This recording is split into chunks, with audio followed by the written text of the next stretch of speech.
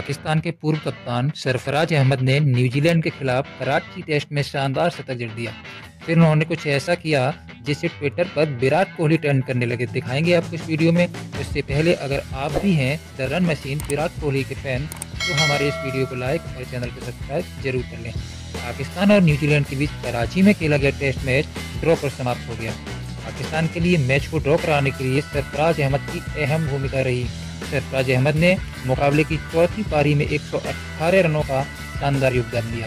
अपना चौथा शतक पूरा करने के साथ ही सरफराज अहमद खुशी से झूम उठे और उन्होंने उसी तरह से सेलिब्रेट किया, जिस तरह से वर्ल्ड टी ट्वेंटी पाकिस्तान को हराने के बाद विराट कोहली ने किया था। उसके बाद तो मानो ट्विटर पर एक बहस चल पड़ी कि सरफराज ने विराट की कॉपी की है।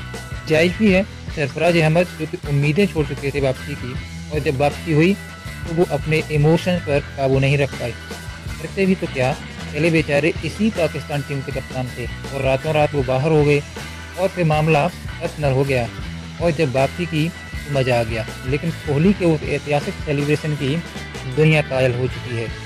अद्भुत मैच जिसमें कोहली के विराट रूप को सारी दुनिया ने देखा। इसकी तुलना सरफराज से करना मुझे पर्सनली अच्छा तो नहीं लगा हाँ सरफराज ने ऐसा किया उसके लिए उन्हें क्रिटिसाइज करना भी ठीक नहीं है। आपकी इस पर क्या राय है, हमें कमेंट करके ज़रूर बताएँ। थैंक्स।